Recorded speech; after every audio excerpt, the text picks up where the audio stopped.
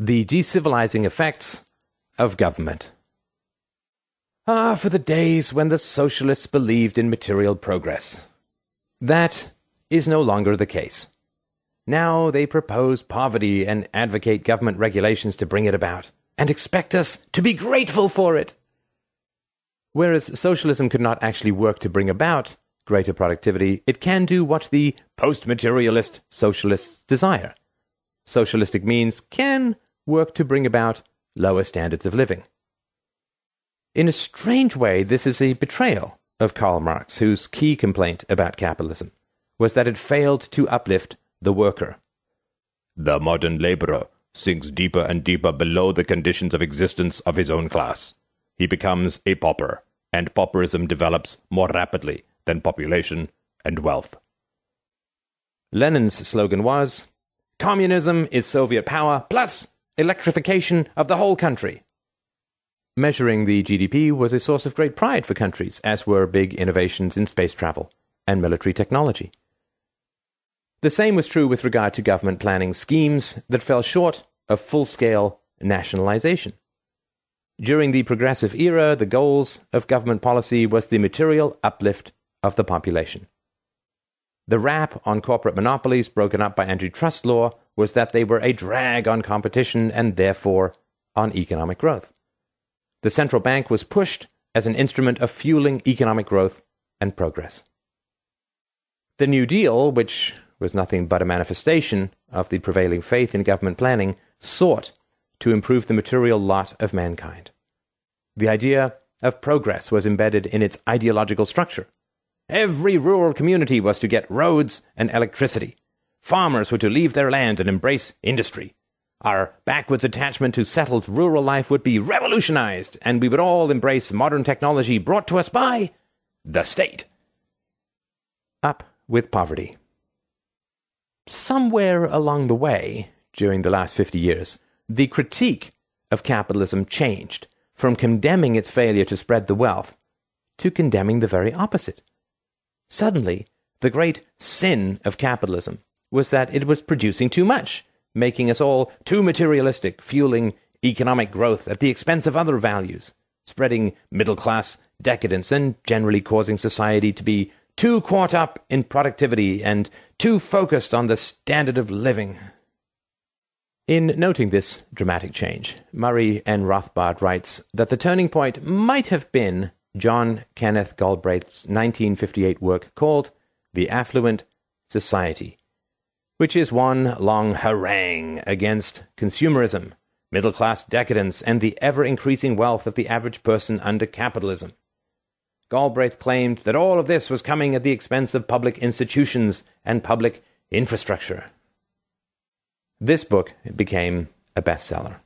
It changed the way the left went about promoting government intervention and critiquing free markets. This book was the first of a half century of similar books that recaptured that Rousseauian spirit, that penchant to romanticize the world before industrialization, to toy with the idea that the hunter gatherer society has a lot going for it. To imagine we can all live better by trading only at the level of the small tribe and raising our own food and all the rest that comes with primitivism. The romance of hunting and gathering.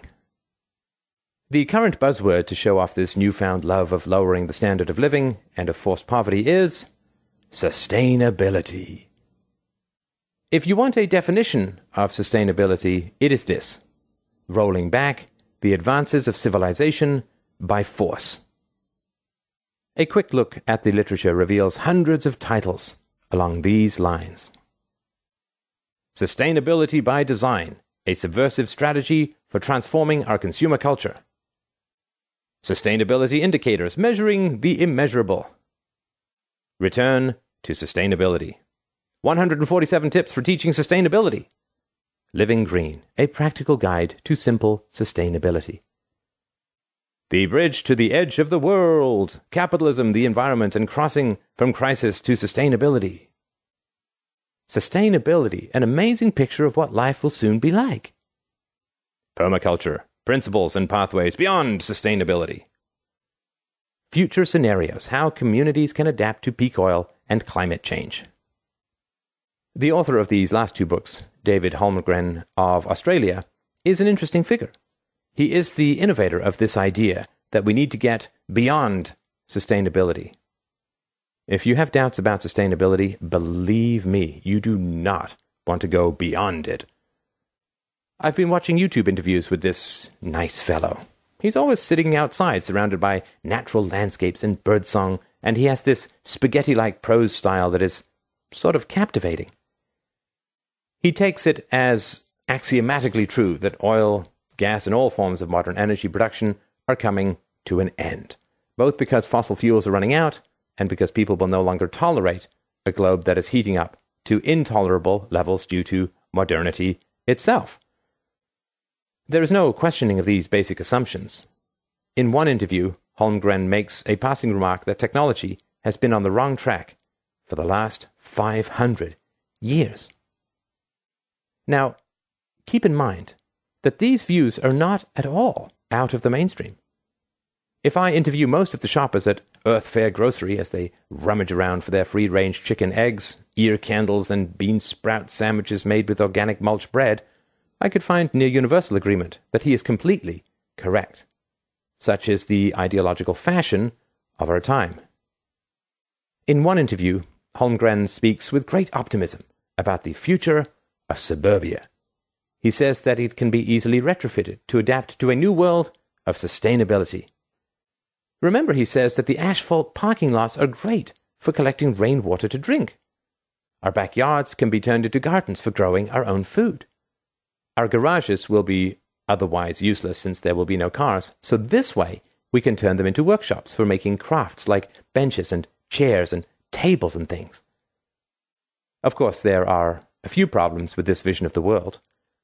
There will be no nails with which to make things because the process of making nails is an incredibly complicated one, requiring a vast division of labor and the accumulation and use of capital. There will be no wood either, unless you chop it down from the backyard, since the wood industry as we know it relies very heavily on power tools, fossil fuel transport, and the division of labor and capital accumulation stretching over many countries. There is also the problem that people will have to quit their day jobs to do all this gardening and craft making, but of course they will not have a choice since the end of fossil fuels will lead to mass unemployment. I'm not sure how he plans to have water collected from asphalt and distributed house to house except by truck, but perhaps he also has a plan for horse drawn carriages. Of course, you have to actually make the carriages and feed the horses which introduces other problems. He doesn't seem to understand that his plan is not a romantic vision of a world reconnecting with nature, but rather a prescription for mass death on an unprecedented scale. In his idyllic time of 500 years ago, there were only 500 million people alive on the whole planet. They didn't live very well. Today, there are nearly 7 billion people alive on the planet, which means he needs to come up with a way to dispense with the 6.5 billion people who could not be sustained on 500 year old technology alone. Of course, the irony is not lost on us that my viewing of this video is itself a miracle of modern technology, one that would have been inconceivable even five or ten years ago. Furthermore, ten years ago, it would not have been possible for me to purchase his books by clicking a button on a floating electronic monitor, either downloading them to my electronic reader in an instant or having them delivered in physical form tomorrow by truck. So perhaps there is one benefit to his plan. There is no question that once it is implemented, David Holmgren would no longer be a best selling author. Reducing living standards by force. It is easy to dismiss these people as fashionable cranks. We can regard their views as an understandable reaction of the ideologically restless in an age of superabundance. And truly, anyone is free to downgrade his or her standard of living by choice, and even swear an oath of poverty and stick with it. But it is a fact that this tendency has had a massive effect on the stated purpose and cultural effect of government policy in our times. Let's leave aside the ridiculous claims we've been hearing for two years that somehow government is going to stimulate the economy by robbing us more, running up massive debts, and spending on anything and everything. This talk about stimulus is really a departure. The usual rubric under which government policy is pushed today is precisely the opposite to slow down production, to take away conveniences, and to make us more virtuous by forcing on us a lower standard of living. This is a prevailing political ethos in our own time, and it is having an effect. We are constantly being told to cut back, consume less, buy locally, go green, carpool and recycle and save, stop indulging. To this end, consumer products are constantly being banned every day.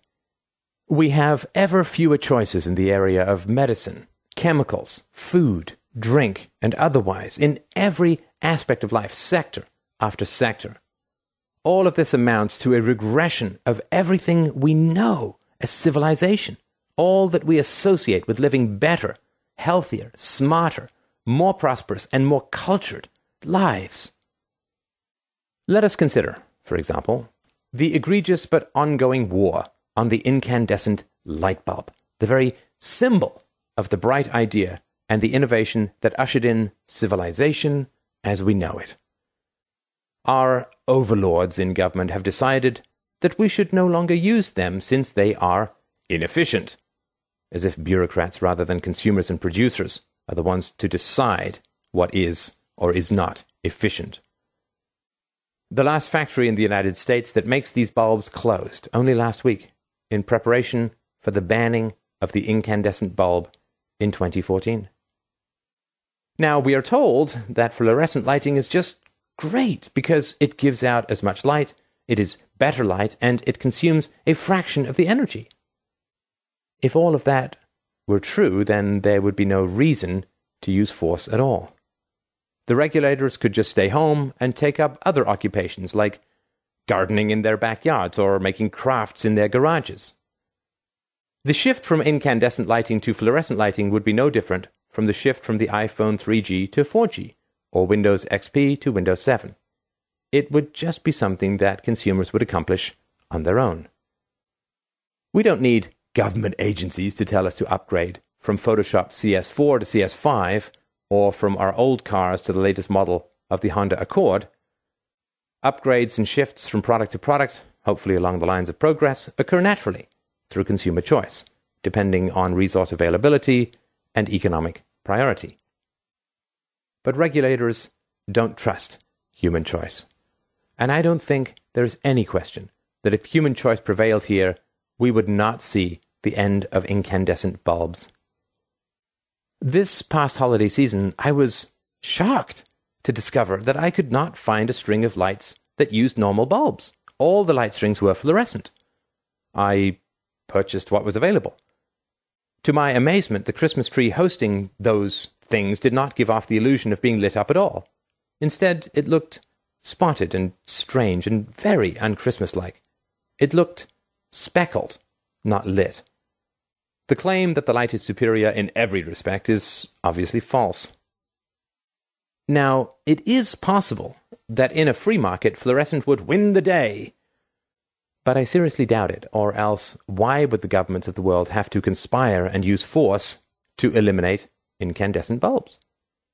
It seems clear to me that what we have here is a case in which government is deliberately overriding consumer preference, reducing our standard of living, and doing it with a specific ideological agenda in mind, one that seeks to use force to make us less well off, to live poorer, to be poorer, and to decline material progress.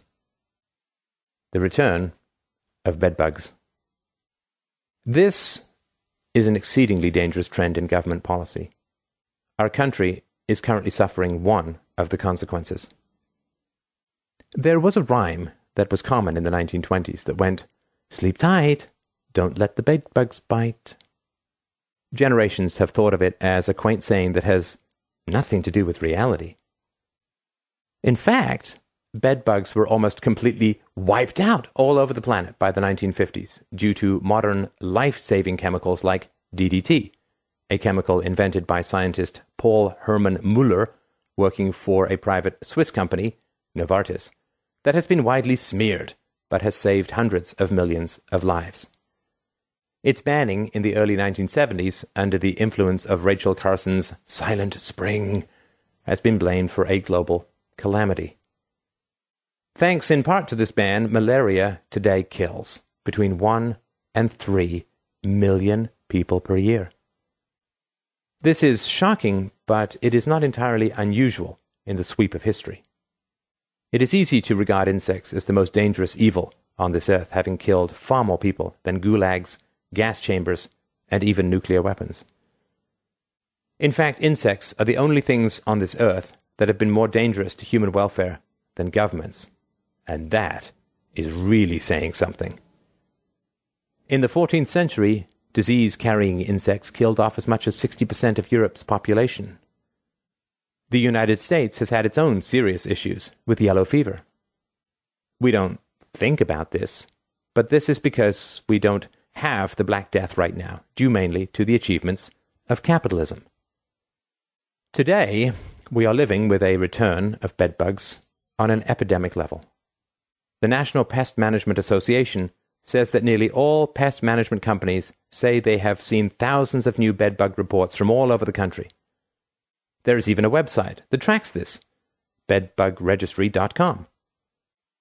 This epidemic, which is so bad that even the New York Times published an alarmed editorial, is directly related to the banning of chemicals that had had bedbugs under control. There are other chemicals besides DDT that control bedbugs, such as Propoxur, but in 2007 the EPA banned it for indoor use. Now, any pest management company that uses it indoors is threatened with fines and, potentially, with jail. It's so bad that the Ohio Department of Agriculture has begged the EPA for a change in policy, but the EPA won't budge. Instead, it advises people to reduce clutter in your home, to reduce hiding places for bedbugs, and also suggests eliminating bedbug habitats. Oh, and of course, the EPA strongly suggests that you work on raising awareness through education. The New York Times had a headline story on how the return of bedbugs has baffled scientists. Later in the article, however, the text says that chemicals can control them, but that all those chemicals are currently banned. Well, if the answer is before us, but we are forbidden by government to use that answer, or retails and exterminators are too intimidated by the threatening political culture to take the risk, I don't see that there is much reason to be baffled by the problem. What is it about cause and effect that these people do not understand? Now, I don't want to get into a dispute about chemicals and their effects. Some people say that DDT is no longer effective, but black market DDT is still a vibrant industry, and that there are downsides to Propoxur, or that there are other natural and chemical agents that are effective. I'm not a scientist, and I have no opinion on which views are correct here. Opinions are all over the map on these questions. My point is simply this the market process that would normally allow innovation, trial, and error, and the accumulation and implementation of all available scientific knowledge has been subverted by government institutions that have presumed to know what is best thereby centrally planning the use of chemicals to control pests. Even to bring a new chemical to market requires seven years and some $100 million just to jump through the regulatory thicket, which has a bias against progress, capitalism, and innovation. We end up having to trust experts and competing scientific claims based on rarefied results from tests rather than markets. Goodbye, hot water, Hello, trash. Another suggestion we hear about bed bugs is that we should wash our sheets in hot water. Well, that would be fine, except that most houses no longer have hot water from the tap. Because of government regulations, our hot water heaters are shipped with a default setting that makes our water lukewarm. The consequences of this are themselves devastating. Our clothes do not get clean. Our bodies do not get clean. Our dishes do not get clean. To change this requires that you open your hot water heater and turn it up to the hottest setting, but not many people know about this trick. If you suggest to a repairman that he do it for you, he will suspect that you are an agent provocateur and run away. Next, we come to the problem of trash. Government policy is increasingly limiting our trash pickup days, and even limiting the amount of trash we can create. We all know about the attacks on and regulation of landfill space. Then there is the subject of recycling itself, which might have some limited merit under certain conditions in a market environment. But under government, we are forced to sift through our own garbage and separate it according to type and give it to the government so it can push it through specially created machines.